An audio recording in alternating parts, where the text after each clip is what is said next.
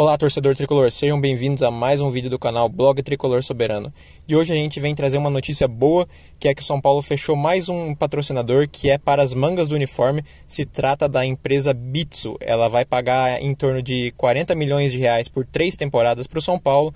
Ela é responsável por criptomoedas, cuida de transações de criptomoedas e vai estar no São Paulo pelos próximos três anos.